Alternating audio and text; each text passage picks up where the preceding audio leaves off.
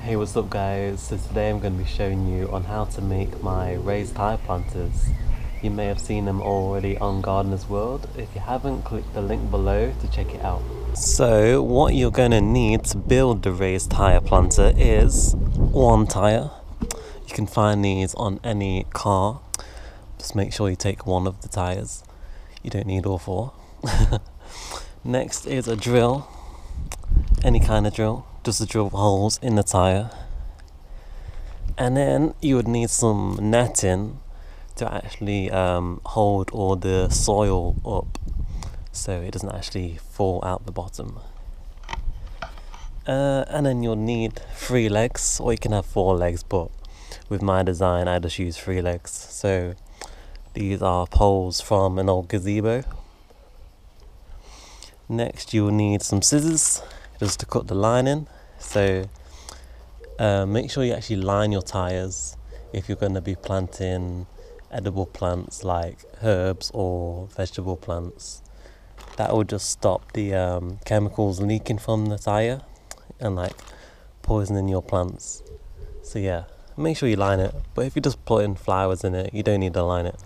Okay, the first step is to lay down your tire and put these poles in. So you're gonna need to get the drill and drill holes in the top, which is gonna be the front, and then the other two, which are somewhere at the back. You can measure it to be accurate, but I'm just doing this by eye. So I'm definitely gonna drill one there, and a one around about there, and then probably the same on this side.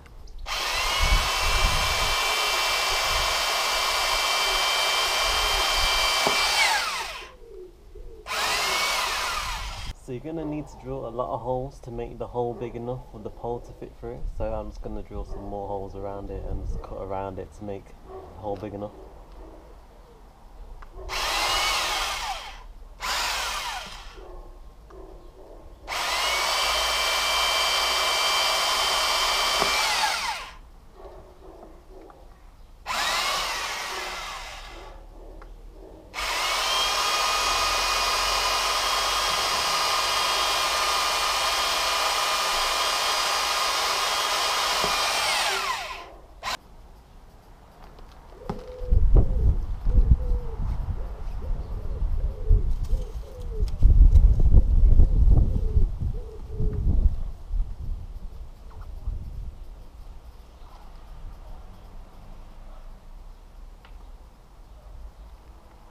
Okay, that's one pole done.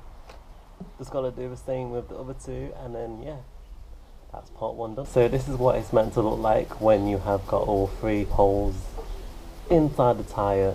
It will take you a long time to do. Drilling through these tyres does take a long time, but this is what it's supposed to look like at this stage. So keep watching to see what to do next. Okay, so I flipped the tyre the right way up, and this is what it should look like all three legs are supporting the tyre above the ground. Don't worry, I know it does look lopsided. It's meant to look like that for now. Next stage is to actually get the netting in here. So I'm going to be using some chicken wire mesh, um, some plastic chicken wire. And the good thing about the plastic chicken wire is that you can actually put the holes through the poles. So that's actually what keeps the mesh in place no nails, no attaching it in anywhere else. The poles, the legs itself hold it up. So that's what I'm going to be showing you next. So what I'm doing now is actually lowering the poles so I can have um, some room to put the mesh in. You want to have a gap in between the poles and the tyre for now.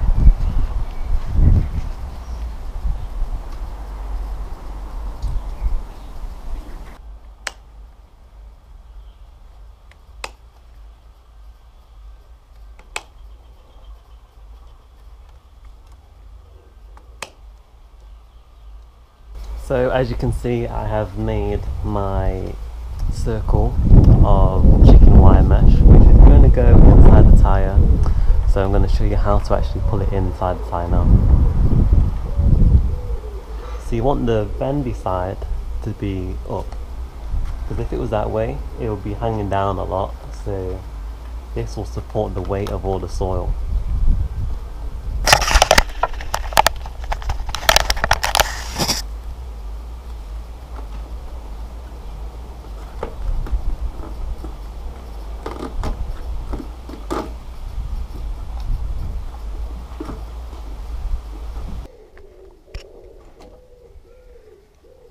So I've just hooked on the last circle onto the pole and that is what locks this into place. So what you're going to do, you want to do the same with all three of the poles and that will lock, be locked into place just like this.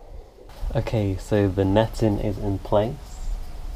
I've just got to put the lining in, but first I'm just going to pull it in the spot that I actually want to keep it in. So yeah, you can watch me just try and struggle to pull it into place.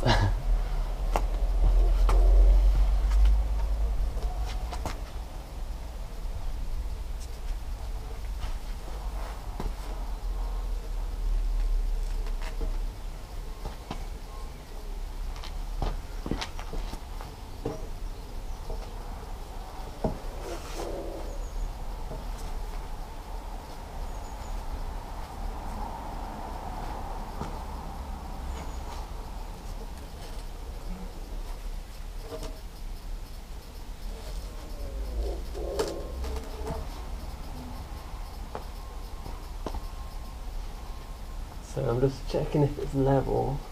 You can just keep playing around with it how you want it. This leg isn't straight, I don't think. So I'm just going to move that.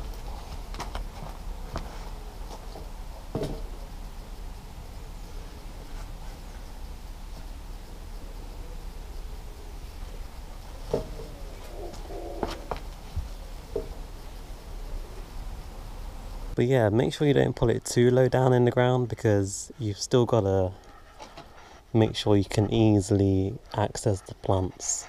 So you don't want to be bending down too low. But yeah, if you have a look at my other ones, like this one's quite tall. That's probably my tallest one. And then this one over here. That's like above above my waist. So that's pretty high. But in this one, this is like, wow, almost at my knees. so yeah, it depends on the poles you get. If you can find taller poles, then go for it. But I don't think this is too low down.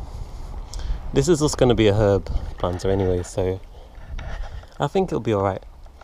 Okay, the next step is to line it to make sure all the soil doesn't leak out all of these holes and to protect your plants from the poison of the tire.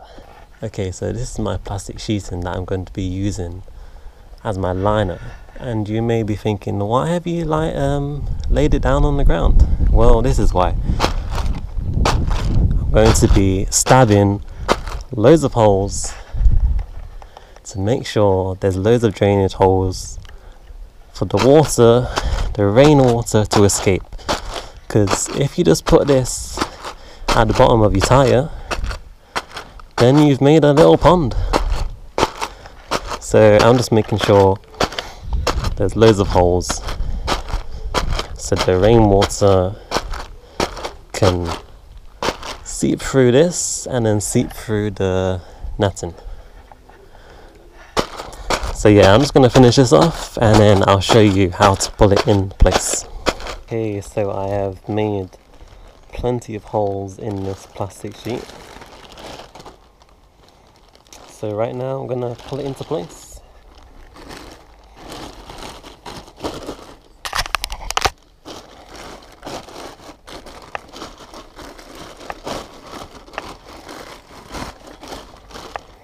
Make sure it actually um,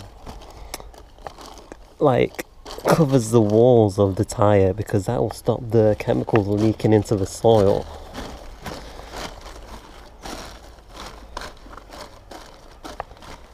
So yeah, that is it. That's nicely into place. I don't know if you can see, but there's loads of holes where I've just stabbed in. And don't worry, you don't need to like um, attach this to the tyre because all the soil is going to be packed into place. So yeah, the soil just will weigh it down. So thank you for watching my video. If you followed along with these instructions, you have just made your first raised higher planter. So this one's going to be my herb garden. I'm going to fill it up with soil and then start planting herbs in. So you may be thinking, it looks a bit boring, it's just a tire on some legs. But you can be creative, paint it. I painted my other one white and the other one an Italian flag. So just let your mind go wild, just paint it any colours you want. And yeah, happy gardening. Okay, so I've decided to show you um, what the tire will look like when it's full with soil. So I've got some soil here, the tire is there, and I'm just about to fill the bottom with some gravel.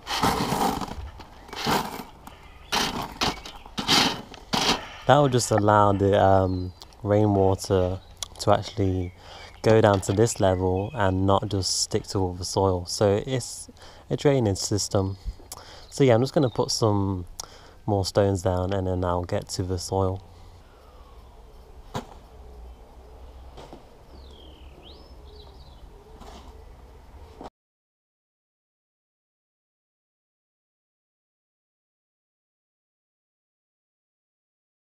So here it is, the finished result. This is what the raised tyre planter should look like, full of soil. You can actually put some compost on top just to make the nutrients levels higher. But yeah, this is it, complete. All I've got to do now is paint it. So thank you for watching.